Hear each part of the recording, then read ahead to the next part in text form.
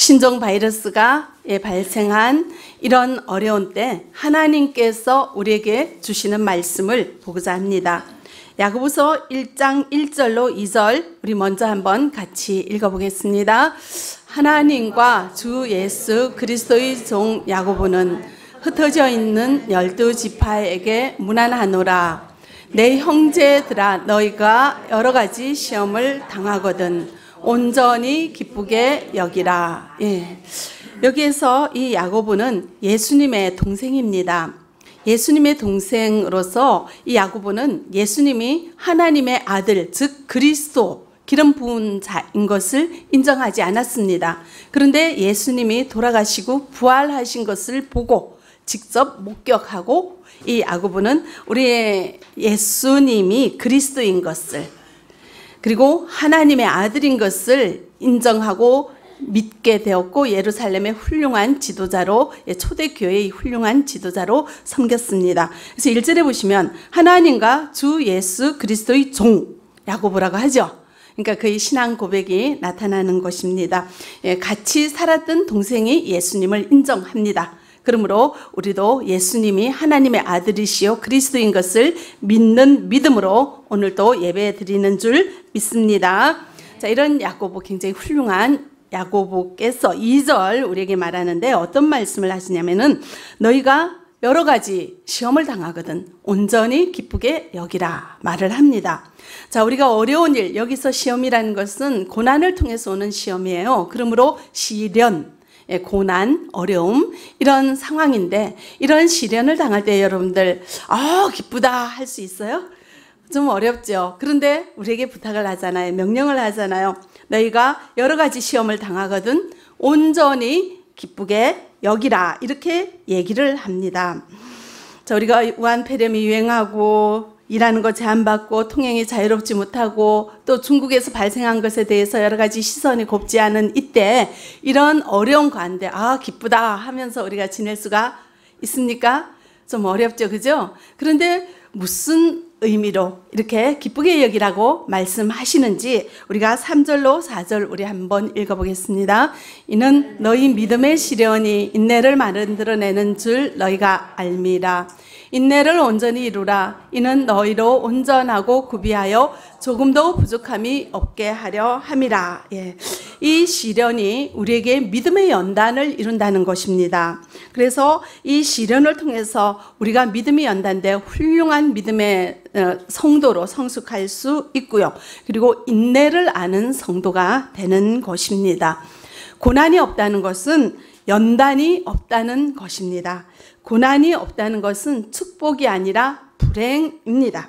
고난이 있다는 것은 고난을 받을 만한 성숙함이 있다는 이야기입니다. 저도 우리 교회에 여러 가지 시험이 올 때가 많이 있잖아요. 그러면은 저는 이 시험 후에 어떤 축복이 올까? 시험 후에 사람의 힘으로 가질 수 없는 것, 하나님만이 주실 수 있는 놀라운 좋은 것으로 주시더라고요. 살아온 결과. 그래서 어려움이 생기면 기대해요. 은근히. 야, 이 어려움이 지나고 나면은 우리에게, 우리 교회에 어떤 더 좋은 것을 줄 것인가, 주실 것인가, 이렇게 기대하게 되죠. 그러니까 그런 믿음으로 하는 기대를 가지고 이 어려움을 기쁨으로 감당하라. 하는 예, 말씀인 거죠. 예, 우리도 우한 폐렴이 빨리 사그라 소멸되게 해달라고 같이 기도하시기 바랍니다. 우리의 건강 지켜달라고 기도하시고 우리 가족의 건강 지켜주시고 우리 민족의 건강 지켜주시고 이 나라와 중국을 지켜달라고 우리 함께 같이 기도하시기 바랍니다. 이 가운데 우리 예수님 모르는 자, 이 모든 생사 화복이 하나님의 손에 있다는 것을 모르는 자들을 위해서 우리 더 많이 전 전도하게 해달라고 우리 함께 기도할 수 있기를 바랍니다. 자, 어려운 가운데 우리는 기도해야 합니다. 여러분들 어려움 당하면은 어때요? 제일 먼저 하는 게 뭐죠? 어휴, 한숨이죠. 자, 한숨 먼저 쉬어도 되죠. 자, 그 다음에 우리 기도해야 합니다. 자, 그래서 우리가 이 어려운 때 기도해야 되는데 우리 문제를 놓고 기도한다는 것이 우리의 생각인데 오늘 본문은 저 무슨 말씀을 하시는지 보도록 하겠습니다. 1장 5절 우리 한번 같이 읽어주죠. 너희 중에 누구든지 죄가 부족하거든 모든 사람에게 후히 주시고 꾸짖지 아니하시는 하나님께 구하라. 그리하면 주시리라. 아멘. 문제를 놓고 기도하라 하지 않고 지혜를 구하라고 말씀합니다. 앞에 시험에 대해서 얘기를 하면서 시험을 기쁨으로 여기라. 왜냐하면 인내를 준다. 성숙한 우리 성도를 만들어주는 축복의 통로라는 말씀을 하시면서 이 시련을 겪을 때 기도하는데 이 문제가 해결해달라고 기도하지 않고 뭘 구하라고 기도합니까? 지혜를 구하라고 예, 기도하라고 이야기를 합니다. 네. 이 지혜가 뭡니까? 지혜는 사물의 이치나 상황을 제대로 깨닫고 그것에 현명하게 대처할 방도를 아는 우리 지적 능력을, 우리의 능력을 이야기합니다. 지식이 많은 사람은 이렇게 학식이 많은 것이고 지혜로운 사람은 살아갈 때 어떻게 처신하는 것이 가장 현명한 일인가를 알고 그 방도대로 할수 있는 사람이 지혜로운 자죠. 그것이 지혜인데 여기서 말하는 지혜는 위로부터 오는 지혜입니다. 하나님이 주시는 지혜입니다. 하나님의 지혜입니다. 그래서 이 하나님의 지혜를 왜 갑자기 구하라고 이야기를 할까요? 자, 근데요, 일반 상식적으로 우리가 자, 어려움을 당하면 먼저 기도하셔야 됩니다. 네, 이렇게 어렵습니다. 마음이 상합니다. 너무 힘듭니다. 하고 주님 앞에 기도합니다. 믿음이 있는 자는 기도를 할 수 있어요. 왜냐하면 하나님이 이 모든 문제를 해결해 주신다는 믿음이 있는 자만이 우리는 주님 앞에 기도할 수 있습니다. 그런데요, 우리가 이런 기도를 하다 보면은 자, 누구에게 집중이 됩니까? 하나님께 집중이 되죠.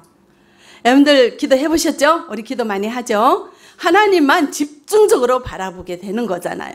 그래서 하나님께 집중적으로 마음이 집중이 되면은 내가 내 이렇습니다. 내 마음이 아픕니다. 이거 도와주세요. 저거 해결해 주세요. 하고 하나님 앞에 막 이렇게 간구하다 보면은 하나님 마음이 느껴져요. 그런 경험 하셨습니까? 그러면서 이 문제를 주신 이 고난을 주신, 이 시련을 주신 하나님 아버지의 마음이 깨달아지는 거예요. 예, 그래서 하나님의 뜻을 깨닫게 되는 것입니다. 자, 이 천지 만물은 누가 창조하셨죠? 하나님이 창조하셨죠? 이 천지 만물은 누가 다스리고 계십니까? 하나님이 다스리고 계시죠? 자, 우리는 하나님이 창조하시고 하나님의 마음과 하나님의 뜻으로 운행하시고 다스리시고 섭리하시는 이 세상 안에서 우리가 살아가고 있어요. 그러므로 하나님의 섭리 안에서 다스려지고 운행되는 세상 안에서 살아가는 우리가 문제를 만났습니다. 그러면은 이 문제를 해결할 수 있는 비결은 누구의 뜻을 알아차리는 데 있습니까? 하나님의 뜻을 알아차리는 데 있습니다. 그러므로 우리가 문제를 놓고 어려움을 놓고 주님 앞에 집중적으로 기도할 때 우리는 하나님의 마음을 알게 되고 하나님의 뜻을 깨닫게 되어지는 것입니다. 그래서 우리가 하나님의 뜻을 알고 하나님의 뜻을 깨닫고 하나님의 뜻대로 우리가 순종하면 문제는 해결이 되는 것입니다. 그러므로 문제 해결의 비결은 하, 이 하나님의 뜻을 아는 것입니다. 하나님의 뜻, 하나님의 마음, 하나님의 섭리는 섭리로 세상을 창조하시고 다스렸었는데 이것은 하나님의 지혜입니다. 그렇죠? 그러므로 우리가 문제를 해결하는 비결은 하나님의 지혜를 얻고 구하는데 하나님의 지혜를 아는 것에 있다는 것을 여러분들 기억하시기 바랍니다. 그래서 야고보 사도는 오늘 이 본문에서 이 어려운 가운데 무엇을 구하라고 이야기합니까? 하나님의 지혜를 구하라. 이렇게 이야기를 합니다. 자, 우리 집사님이 한 10년 전이었어요. 지갑을 가지고 다니다가 지갑을 잃어버렸어요. 그 지갑 안에는 돈이 얼마나 있었냐면은 한 10년 전인데 한 30만 원 있었어요. 좀 많죠? 예, 그래서 그 돈을 잃어버리고 막 찾으러 다니다가 이제 안 되니까 엎드려서 기도해서 하나님 그 돈 제가 왜 어떻게 해서 이 돈을 잃어버렸을까요? 이 돈은 어디 가서 찾을까요? 하면서 막 엎드려서 기도하다가 깨닫게 된 것이 있어요. 그러면서 저한테 이러 목사님 제가요 평소에 11조를 할 때 내 돈으로 안 하고 남편 돈 몰래 떼가지고 그 돈으로 11조를 했대요. 근데 그게 죄책감이 안 생겼대요. 왜냐면은 뭐 남편 돈이 내 돈이고 내 돈이 내 돈인데 그것 좀 이제 쓰면 어때? 대신 말 좀 안 했지 뭐. 그래서 말 안 하고 남편 돈 마음대로 그거 가지고 11조를 한 것이 마음의 가책이 안 됐대요. 근데 이제 이게 돈 잃어버리고 나니까 자기가 보통 그 돈으로 했던 그런 액수에 좀 비슷하게 해당이 된다고 기도하니까 그게 이제 마음의 가책으로 오더래요.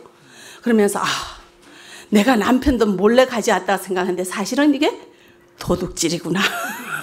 말 안 하고 썼으니까. 그래서 이제 하나님 앞에 고백하고 할게요. 앞으로는 내 돈으로 11조 하겠습니다. 남편 돈 쓸 때는 허락받고 하겠습니다. 이렇게 이제 본인이 고백을 했다고 합니다. 그래서 정직이란 것은 내가 뭐 내가 이건 맞다고 생각하는 것이 정직이 아니라 하나님 보시기에 맞는 것이 하나님 보시기에 정직한 것이 정직이구나. 하나님 앞에서 늘 하나님이 보고 계신다는 것을 깨닫고 그 앞에 흠이 없이 사는 것이 정직이구나. 이렇게 깨닫게 되었다고 합니다. 자, 이렇게 하나님께서 우리에게 원하시는 정직이란 생활 태도를 돈 한 번 잃어버리고 깨닫게 된 거죠. 자, 하나님이 우리에게 원하시는 뜻, 하나님이 우리에게 하고자 하는 그 뜻이 뭡니까? 지혜, 하나님의 지혜잖아요. 그래서 이 집사님은 하나님의 지혜를 가지고 앞으로 사람 앞에, 하나님 앞에 누가 보든 부끄러움이 없이 정직하게 살아가셨어요. 그 후로도. 그래서 그 집사님이 하는 거는 절대적으로 믿으면 된다. 예, 그런 절대 신뢰를 얻는 정직한 집사님으로 참 많이 사역을 하셨습니다. 자, 우리에게 문제가 있습니까? 시련이 있습니까? 이 시련을 극복하는 비결은 하나님의 지혜를 얻는 데 있습니다. 그런데 하나님의 지혜를 얻기 위해서 우리가 해야 할 일이 무엇일까요? 야고보서 1장 6절, 7절, 8절 우리 한번 읽어보겠습니다. 오직 믿음으로 구하고 조금도 의심하지 말라. 의심하는 자는 마치 바람에 밀려 요동하는 바다 물결 같으니 이런 사람은 무엇이든지 죽게 얻기를 생각하지 말라. 두 마음을 품어 모든 일에 정함이 없는 자로다. 아멘. 자, 5절에는 하나님께 지혜를 구하라고 했는데 자 6절에는 무엇으로 구하라고 합니까? 믿음으로 구하고 의심하지 말라는 거죠. 이렇게 의심하며 구하는 사람은 7절에 보시면은 뭐라고 합니까? 죽게 얻기를 예, 다시 말해서 이 말은 뭡니까? 주님 앞에 기도하는데 의심하면서 기도하면 주님이 응답하지 않는다는 거예요. 그러므로 우리가 주님 앞에 나가고 간구하고 기도할 때 하나님 앞에 나갈 때 우리 하나님에 대한 절대적인 믿음으로 구하라고 말씀하시는 거예요. 우리 예수님도 성경에 보시면은 눈먼 자, 아픈 자 다 이렇게 고쳐 주실 때 하시는 말씀이 있어요. 내 믿음대로 될지어다. 아무나 고쳐 주는 게 아니라 믿음이 있는 자를 고쳐 주는 거예요. 그런데 우리는 이 믿음을 착각할 때가 있어요. 어떤 사람은 그래요. 예수님이 누군지, 뭐 하나님이 누군지 별 생각 없다가 무슨 일이 있으면 어려운 일이 있으면은 막 기도하면 내 믿음대로 될지어다 이런 이제 말을 들어가지고 이 믿음을 있으면 내가 기도하는 거 다 응답받는다는 생각으로 기도를 하는데 어떤 믿음이냐면은 내가 원하는 대로 믿습니다 하면 다 하나님 해준다는 이게 믿음인지 알아요. 내 생각이 관철되게 그냥 때를 쓰는 게 믿음인지 알아요. 그건 믿음이 아니에요. 그런 믿음을 얘기하는 것이 아니죠. 근데 참 많은 사람들이 믿습니다 하면서 그냥 기도를 줄 하면 해결된다고 생각하는데 그 믿음은 하나님이 어떤 분인가에 대한 확신을 갖는 거예요. 나의 생사화복을 주관하시는 분이 누구세요? 하나님이죠. 이거를 아는 분은 하나님 앞에 기도 안 할 수가 없어요. 자, 내가 가진 이 문제를 해결할 수 있는 분이 누구십니까? 하나님이죠. 하나님에 대해서 제대로 아는 것이 믿음이에요. 근데 하나님은 내가 달라고 달라고 하는 거 하나님께서 주십니다. 그러나 또한 안 주실 때도 있죠. 안 주실 때는 하나님께서 어떤 것으로 주십니까? 더 좋은 것으로 주시잖아요. 그러므로 하나님이 사랑하심과 인자하심과 자비로우심, 나를 향한 무한한 사랑으로 나에게 좋은 것을 주기를 원하시는 하나님의 그 놀라운 사랑과 인자하심을 확신하는 것이 믿음이에요. 그래서 내 필요한 것을 주님 앞에 달라고 기도하시면 됩니다. 그러나 내가 때를 쓴다고 되는 것이 아니라 그거를 주고자 하는 것은 누구의 마음에 누구의 손에 달려 있습니까? 모든 주권은 누구 손에 있습니까? 하나님 손에 있다는 것을 믿으셔야 돼요. 자, 하나님의 어떤 분입니까? 나 같은 죄인을 예, 지옥에서 건져주신 분이죠. 예수 그리스도의 십자가 부활로 나를 구해주시고 나를 천국 백성 되게 하신 분이 누구십니까? 하나님이시고 나의 생사 화복을 주관하시며 나의 모든 것을 다 아시며 나를 눈동자같이 보살펴 주시며 나에게 가장 좋은 것으로 주기를 원하시는 분이 누구십니까? 하나님인 것을 절대적으로 믿고 신뢰하셔야지 되는 것입니다. 그럴 때 이 믿음으로 강구, 이런 믿음으로 강구할 때 하나님께서는 우리에게 가장 좋은 것으로 주십니다. 그 좋은 것 중에 하나가 지혜를 주시는 것입니다. 자, 그런데 우리가 이렇게 기도하다가 의심할 때가 있어요. 자, 우리는 보시면은요, 예, 신앙생활 잘 하다가 중국 갔다 오면 그냥 믿음이 흔들흔들해요. 왜 그럴까요? 이렇게 열심히 뼈가 빠지게 일하다가 주일날 와서 예배 열심히 드리고 신앙생활 잘하고 충만충만하게 예, 신앙생활 하는데 중국 가면은 어, 예수 안 믿고 교회도 안 다니는 사람 나보다 더, 더 떵떵거리고 잘 살아. 그러면 우리 마음이 그냥 시험에 들어. 아유, 내가 뭐 이렇게 죽기 살기로 뭐 미련하게 교회 다닐 게 있나? 돈이라도 열심히 벌어야지. 이런 생각이 들어가지고 나도 모르게 교회에서 훌 떠나게 되고 예, 일자리 찾아서 교회와는 잊어버린 채 살아가기도 합니다. 자, 우리에게 예, 왜 우리가 교회를 떠나게 되죠? 교회 다녀도 별 수 없다. 자, 이건 뭡니까? 믿음이 흔들리는 거죠. 믿음이 흔들리는데 결정적인 역할을 한 것이 뭐냐면은 의심이에요. 내가 교회 다니는 것이 신앙하는 게 가장 좋은 것이란 이 마음에 의심이 들어. 뭐 그럴 수 있을까? 의심이 드는 거잖아요. 그러므로 믿음을 예, 흔들리게 하는 것은 의심인데 이런 우리에게 야고는 말하는 거죠. 6절에 보시면 의심하지 말라. 의심하는 자는 마치 바람에 밀려 요동하는 물결과 같다고 이야기를 합니다. 그래서 이 의심을 어디에 비유하냐면은 바다 물결에 비유를 합니다. 자, 바다의 물결을 보세요. 끝이 있습니까? 끝이 없어요. 바다의 물결이 풍랑이 치면 흔들리기 시작하고 움직이면 끝이 없어요. 어디까지 가는지 없어요. 그러므로 우리 마음에 의심이 한번 들기 시작하면은 이 의심은 우리를 어떻게 해요? 끝이 없이 우리를 파고들어요. 그래서 여러분들 신앙생활 할 때 의심이 들면 의심을 딱 차단하시기 바랍니다. 자, 여기에서 바다라는 단어가 나오는데요. 바다 물결 같은 의심하는 것을 바다에 계속 비유를 하고 있잖아요. 근데 이 바다는 어디에 움직입니까? 외부 세력에 움직입니다. 자, 바다에서는 바람이 불면 물결이 움직이고 바람이 없으면 물결이 잔잔하죠. 이렇다는 것은 자, 이 바다가 외부 세력에 의해서 움직이는 것처럼 우리의 믿음도 우리의 이 의심 드는 상황도 외부 세력에 의해서 우리가 의심을 가지게 된다는 것입니다. 다시 말해서 우리 예수님만 바라보면 의심이 안 들어요. 우리의 시선을 어디에 볼 때? 예수님이 아닌 다른 것으로 이렇게 시선을 돌리면 어떻게 해요? 그냥 의심이 생겨요.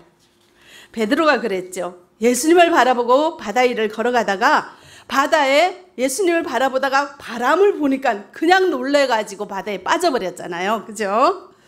자, 우리는 어떻습니까? 우리에게 의심을 가져다 주는 것이 무엇인지 여러분들 생각하며 그 의심을 가져다 주는 그 수단을 차단하시기 바랍니다. 우리 예수 그리스만 집중적으로 바라볼 수 있기를 바랍니다.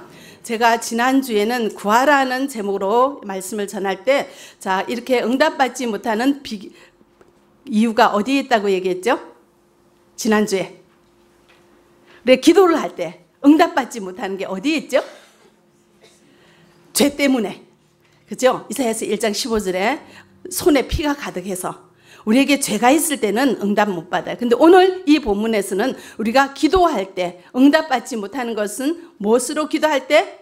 의심하면서 기도할 때 응답받지 못한다는 거 여러분들 머리에 저장해 주시면 좋겠습니다.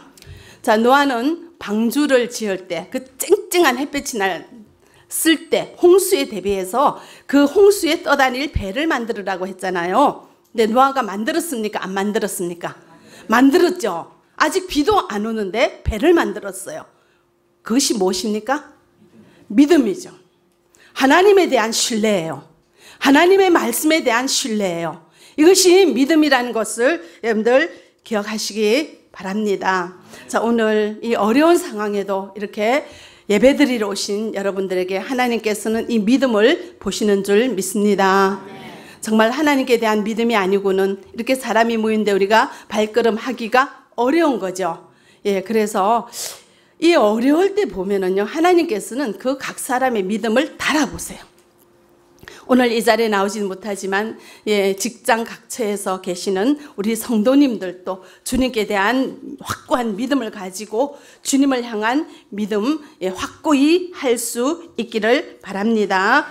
자, 여기 8절에 보시면은 두 마음을 품어 모든 일에 정함이 없는 자료다 얘기를 합니다. 두 마음은 두 영혼을 이야기하는데요. 자, 말로는 하나님을 믿는다 얘기를 하는데 이 속에는 과연 그럴까? 다른 마음이 있는 거예요. 이것이 두 마음이죠. 여러분들은 어때요? 우리 사람은 각 사람의 마음에 두 마음이 있는지 세 마음이 있는지 몰라요. 그러나 누구는 아시죠? 하나님은 아시는 줄 믿습니다. 그러므로 우리의 마음을 전심으로 주님께 향할 수 있기를 바랍니다. 주님을 전심으로 신뢰할 수 있기를 바랍니다. 자, 우리의 생명이 누구 손에 있습니까? 하나님의 손에 있음을 기억하시기 바랍니다. 하나님 손에 우리의 생사와 화복이 달려 있고 우리 생명의 주인 되심을 여러분들 믿으시기 바랍니다. 내 평생 다하도록 우리 주님 앞에 갈 때까지 오직 주님만이 나의 인생의 주인이심을 고백하며 영생 안에 살게 하신 우리 주님께 찬양과 감사를 드리며 오직 주님 중심으로 살겠습니다. 고백하는 믿음이 우리에게 떠나지 않기를 바랍니다. 이런 어려울 때 보시면은요, 사람 믿음이 보여요. 흔들어 보시는 거죠, 하나님께서. 자, 여러분들 주님께 그 귀한 믿음 보여주셔서 우리 주님 기뻐하시는 줄 믿습니다. 저도 이제 2018년도 7월쯤에 그 전부터 이제 좀 이상이 있었겠지만 내 눈에 이상이 있는 것을 그때 발견을 했습니다. 한번 얘기했죠. 어떤 이상이 생겼냐면은 자 눈에는 스크린이 있어요. 자 여기 스크린에 이렇게 화면에 사람이 비치는 것처럼 저렇게 이렇게 사물이 사물을 비추는 스크린이 있는데 그것이 망막이잖아요. 그 중에서 가장 예, 중요한 것이 황반인데 이 황반에 제가 구멍이 뚫렸어요. 오른쪽 눈에. 그래서 이게 보이는 것이 조금 이상이 있어가지고 제가 이제 병원에 가봤어요. 그래서 뭐 여러 병원을 다니면서 뭐 종합병원, 대학병원 이렇게 많이 다녔더니 똑같은 어, 검사 결과가 나왔고 의사 선생님한테 제가 이걸 어떻게 치료하죠? 하고 물어봤더니 의사 선생님이 그러셔요. 치료할 방법이 없대요. 뭐 약도 없고 주사도 안 되고 그냥 두고 봐야 된대요. 그래서 두고 보면 어떡하죠? 하고 얘기를 했더니 이제 뭐 대책이 없다는 거죠. 근데 이제 여러분들 만약에 그 고무줄이 사가 가지고 중간에 이렇게 쓱 구멍이 나면은 그 고무줄이 있을수록 어떻게 돼요? 그 구멍이 어때요? 커지죠. 근데 이 스크린에 구멍이 계속 뚫어져서 커지면 보이는 것이 어떻게 되겠어요? 안 보이는 거예요. 그래서 이 병이 이제 시간이 갈수록 진행이 되면은 보이는 볼 수 있는 기능을 상실하는 거죠. 그러면 안 보이는 거예요. 예, 실명이 되는 거죠. 그런데 이제 단 한 가지 방법은 이것이 더 심해지고 완전히 넓게 구멍이 뻥 뚫리면은 예, 수술을 할 수가 있는데 그 수술을 할 때 결과는 그때 봐야 알겠지만 수술을 하고 한 20일 정도는 엎드려 있어야 된대요. 딱 엎드려 눈 수술 한 3일 정도 엎드려 있는데요. 근데 한 20일을 엎드려 있어야 된대요. 그 정도로 굉장히 주의를 요한다고 하는데 이 진행이 굉장히 급속도로 진행이 된다고 얘기를 하시더라고요. 그래서 이제 제가 그 판정을 받고 이제 생각나는 것이 내가 이렇게 참 열심히 사역했는데 하나님 나한테 왜 이런 일이 있습니까? 이런 생각이 아주 잠깐 잠깐 스쳐가고 그 다음으로 바로 제가 주님 앞에 고백했던 것이 주님 죄송합니다. 내 육체이지만 내가 너무 혹사를 했네요. 건강하게 관리하지 못하고 이렇게 눈이 뚫어질 정도로 눈을 너무 많이 쓰고 체력 분배를 못해서 이런 질병이 온 것에 대해서 죄송합니다 하고 엎드려 기도를 했습니다. 그리고 이제 기도를 하면서 쭉 돌아봤더니 내 인생이 참 여태까지 살았던 인생이 쭉 보이면서 하나 분명한 것은 사람에게 모든 있는 인생의 끝은 하나님 앞에 가는 거다. 그래서 뭐 어차피 하나님 앞에 안 갈 인생이 없는데 나도 하나님 앞에 가는 인생이구나 다시 느꼈고요.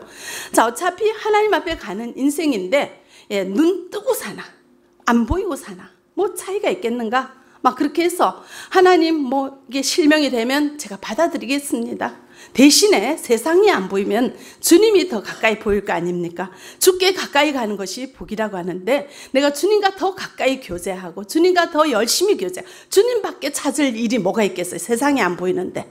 그래서 주님과 더 가까이 살 수 있는 복을 갖게 되겠네요. 하면서 이제 주님이 주시는 모든 환경을 그냥 감사함으로 받아들이기로 마음의 마음을 다스렸고요. 그리고도 엎드려 기도했습니다. 하나님, 이것을 통해서 나에게 주시는 교훈이 무엇입니까?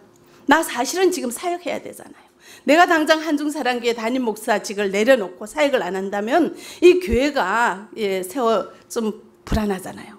내가 지금 당장 사역을 해야 되는데 그럼 제가 어떻게 사역을 해야 되겠습니까? 하면서 하나님의 뜻을 구했습니다. 그랬더니 하나님께서는 지금까지 해오던 사역의 방향과 조금 다르게 할 것을 저에게 깨닫게 해주셨고 하나님께서는 또 깨닫게 해주신 것이 한중 사랑교회 사역의 방향이 바뀌어야 된다 말씀을 해주셨어요. 나한테 성령의 감동하심으로 깨닫게 해주셨어요.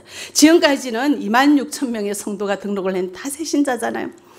그런데 이제 전도 개 전략을 새신자 접촉에 맞춰가지고 예, 많은 성도들을 이렇게 새신자들을 만나는데 초점을 두었는데 이제는 그 많은 새신자들 그렇게 많은 우리 성도들을 이제는 십자가 군사로 양육하라. 하나님께서 이 사역의 방향을 말씀으로 양육하는 것으로 바꾸는 것으로 제게 주셨습니다.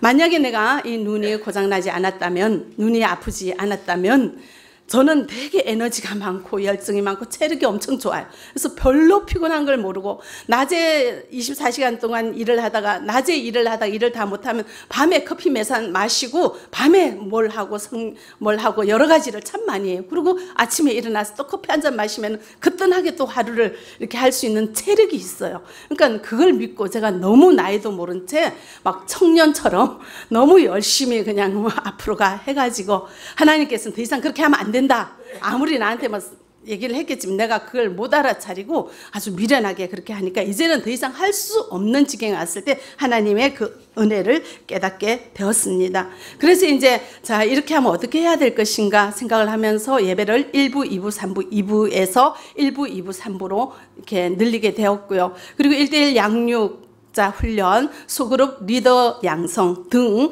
다양한 방법으로 어떻게 하면은 모든 성도들이 말씀을 심령에 품고 살아가며 이렇게 말씀으로 양육된 자들이 십자가 군사되어 그와 같은 사람들에게 다가가는 온 성도에게 성도들이 제자가 돼서 성도 초신자들에게 다가갈 수 있는 온 우리 성도의 제자화를 예, 할수 있는 직접적인 방법을 구사하고 지금까지 해 오게 되었습니다.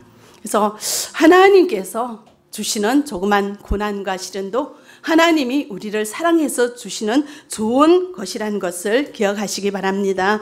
그래서 제가 몇 달 전에 병원에 갔더니 의사 선생님께서 말씀하시기를 오른쪽 눈이 진행이 그만 멈췄대요.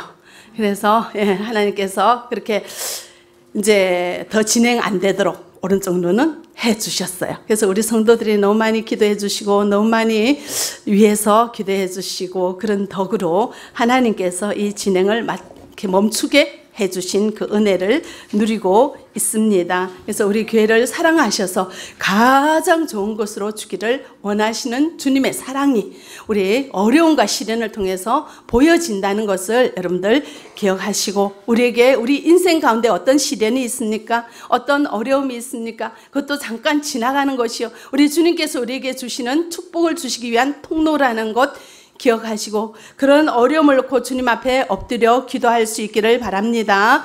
간절히 간절히 진심으로 기도하시기 바랍니다. 의심하지 마시기 바랍니다. 과연 그럴까? 세상은 더 좋지 않나? 이렇게 두 마음으로 왔다 갔다 하지 마시고 마음을 정하시기 바랍니다. 지금 우한폐렴이란 어려움을 주시는 것은 이것을 통해 우리에게 주시는 교훈이 있습니다. 우리의 마음이 주님 앞에 정해졌는지 아니면 세상으로 계속 왔다 갔다 할 건지 우리 주님께서 물어보십니다. 여러분들 어떻게 하실 거예요? 주님 앞으로 우리 마음을 정할 수 있기를 바랍니다.